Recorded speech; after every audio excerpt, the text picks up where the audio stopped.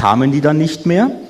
Und dann hast du natürlich nachgefragt, was ist denn los? Damals war ich auch noch ein kleiner, habe einfach ganz normale Ausbildung gemacht im Bereich Nachrichtentechnik. Ja, ähm, nee, die kommen nicht mehr, die sind also aus der, wenn für die Bundeswehr nicht übernommen. Und dann war das Thema durch. Äh, Im Nachhinein war es dann meistens irgendeine Sache mit Stasi-Akten oder Gaukbehörde. Aber unterm Strich betrachtet, vom Soldatischen her, hat man also okay. äh, jetzt vom, von, von der Ausbildung oder beziehungsweise von, vom Know-how äh, gab es da keine großen Unterschiede? Naja gut, die Technik, unsere Technik ist natürlich schon ein bisschen fortschrittlicher gewesen. Das, äh, was damals in der DDR zur Zeit der äh, großen Wende war, war halt doch sehr stark abhängig von der russischen Technik, die robuster war, aber auch ein bisschen schwerfälliger.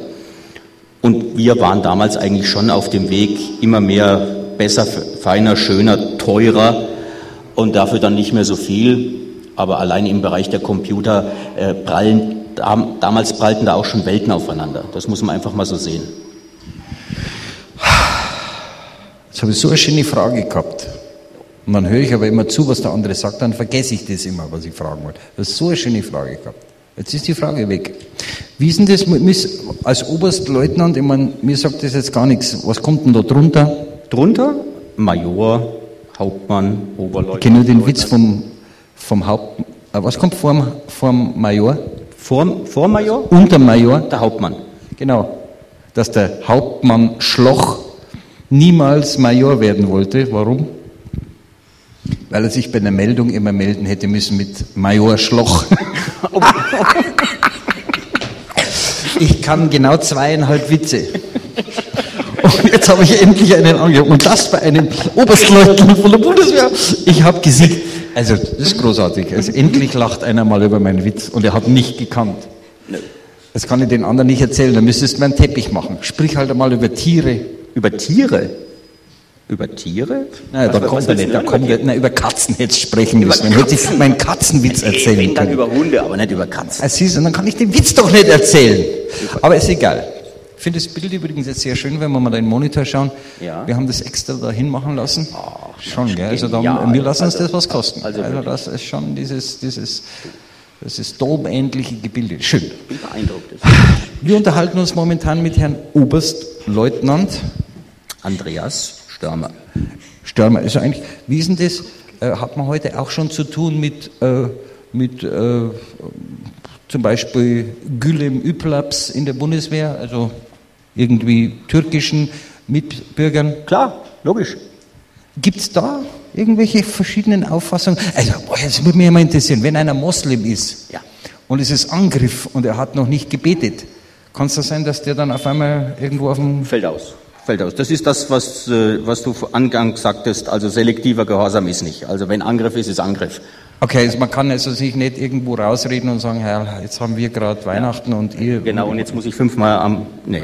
Geht, also Geht da nicht. kann Also man da muss vergessen. man, muss man schon kleine äh, Rücksichtnahmen auf das dienstliche Ablaufprozeduren, das muss man schauen.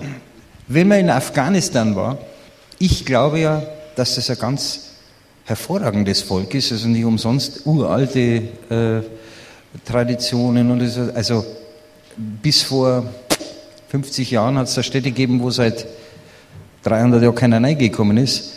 Kriegt man da was mit von diesem, äh, von, von dieser, wie soll ich sagen, von diesem, von, von dieser gewachsenen Kultur, die vielleicht jetzt ein ein bisschen durcheinander gebracht wurde, aber kriegt man was mit von diesem wunderbaren Menschenschlag oder nicht?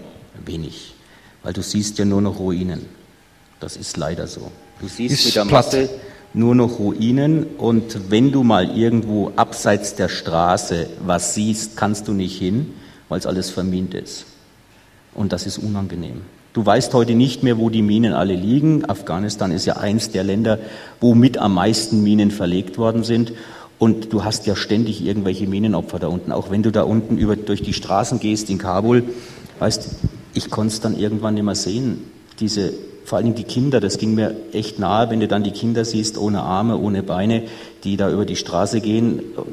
Die klassischen Minenopfer. Du hast ja selber Kinder? Ja, ich habe eine Tochter, ja. Da wollte ich auch mal fragen, wie stehen die dazu, wenn der Vater äh, immer an die Orte fährt, wo es brennt und wo es passieren könnte, dass er nicht mehr kommt? Wie, wie, was, wie redet man da dann?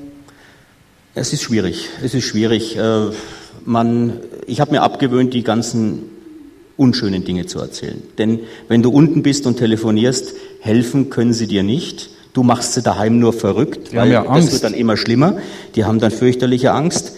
Ähm, da, also mache ich, habe ich mir angewöhnt, die letzten Jahre meine Scherze zu machen.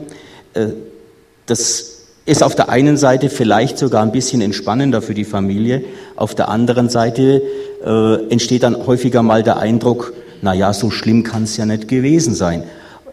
Es ist ein Spagat. Es ist ein Spagat, den jeder für sich entscheiden muss. Ich habe Leute erlebt, die haben äh, mit Steinchen an die, an die Scheiben von der Telefonzelle geworfen. Ich stand an der anderen Telefonzelle und haben gesagt, Schatz, jetzt schießen Sie wieder, hörst du es? Ich musste so lachen. Ja. Ich musste ehrlich so lachen. Dann habe ich den Typ angeschaut, der ist rot geworden wie eine Tomate. Da habe ich ihm ein wenig den Vogel gezeigt, so nach dem Motto, geht's noch? Ja. Äh, Das ist das andere